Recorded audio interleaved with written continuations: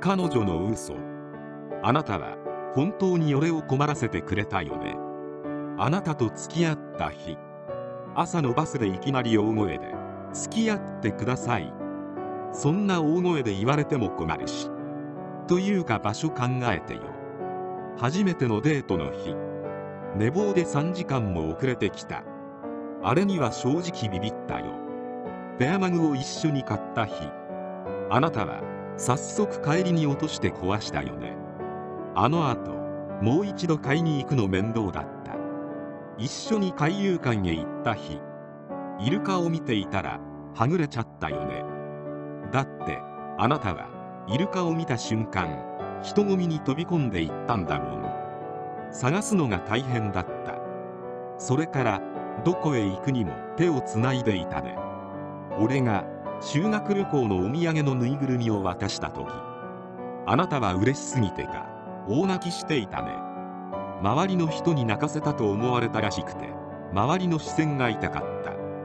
あなたと一緒に誕生日を祝った日帰り際になかなか話してくれなくて大変だった。おかげで夜遅く帰って親にものすごく怒られた。あなたが病気のことを打ち明けてくれた時なんで今まで黙っていたんだよとか言いたいことがたくさんあった。あなたと一緒に泊まった日あなたはテンションが上がりすぎて俺の友達に電話やメールをしまくっていたよね。あの後学校でみんなからの質問攻めが大変だったんだよ。あなたから病気は治ったと聞いた時自分のことみたいに嬉しかった。でもそれを言うのが別れる前日笑いあなたに東京へ行くからと別れを言われた時めちゃくちゃつらかった。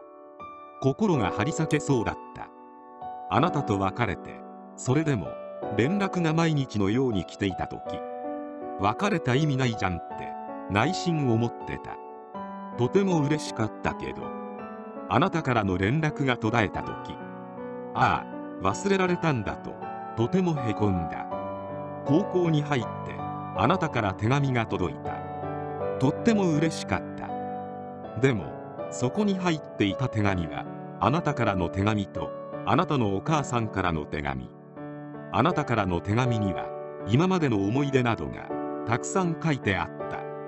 それを読んでいる時今すぐにでも会いたいと心の中で叫んでいた。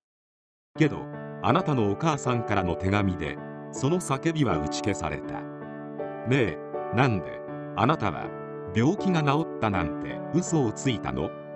東京に行く理由も治療のためだってなんで正直に話してくれなかったの？俺が悲しまないようにって嘘吐かれた方が悲しいんだよ。俺はあなたの彼氏です。彼氏なんだから最後くらい一緒にいたかったよ。あなたからの手紙の最後の言葉。あなたを愛しています。その言葉はあなたの口から聞きたかったよ。たくさん愚痴を書いたけどね一つ確かなことがある。それはあなたと一緒にいれば笑顔が絶えなかったこと。あなたと一緒にいるのが本当に楽しかった。本当にありがとうね。あれ以来本気で恋をするのが怖かった。また嘘を吐かれるんじゃないかって。臆病になっていたんだ。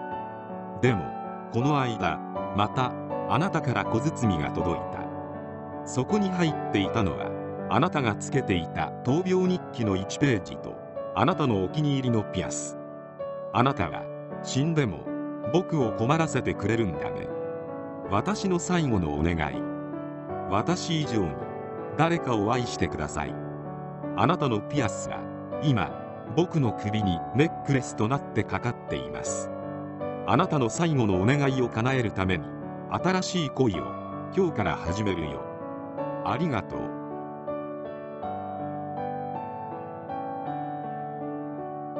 いかがでしたか？よろしければチャンネル登録をお願いいたします。